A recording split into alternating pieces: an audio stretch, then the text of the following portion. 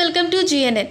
ఎయిర్పోర్ట్లో కనిపించిన ప్రతిసారి ఆయన వేసుకున్న బట్టలు పెట్టుకున్న యాక్సెసరీసే ఎక్కువగా ట్రెండ్ అవుతున్నాయి. తాజాగా ఉక్రెయిన్ నుంచి వచ్చిన తారక్ టీషర్ట్ కాస్ట్ విషయంలో ట్రెండింగ్లో ఉన్నారు. తాజాగా ఉక్రెయిన్లో ట్రిబులర్ షూట్ ముగించుకొని తిరిగి వచ్చిన ఎన్టీఆర్ హైదరాబాద్ ఎయిర్పోర్ట్ కెమెరాల కంటపడ్డారు ఆ సమయంలో తారక్ వేసుకున్న skull printed white t shirt ఇప్పుడు సోషల్ మీడియాలో హాట్ టాపిక్గా మారింది.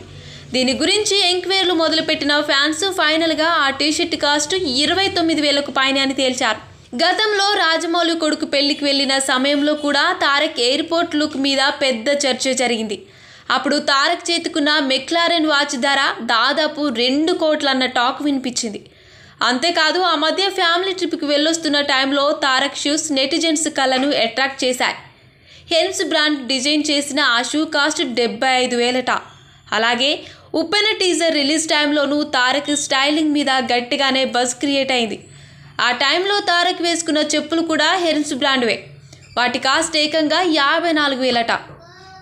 ఇక తారక్ కొన్న ఐదు కోట్ల కొత్త కారు లాంబోర్గి పైన కూడా హాట్ టాపిక్ ఇంకా కొనసాగుతూనే ఉంది. ఇలా కాస్ట్లీ స్టైల్ స్టేట్మెంట్స్ ఇస్తూ ఎప్పటికప్పుడు న్యూస్ హెడ్లైన్స్లో ఉంటున్నారు ఈ నందమూరి అందగాడు. మరిన్ని ఇంట్రెస్టింగ్ అప్డేట్స్ కోసం చూస్తూనే ఉండండి జిఎన్ఎన్ టీవీ తెలుగు ఛానల్.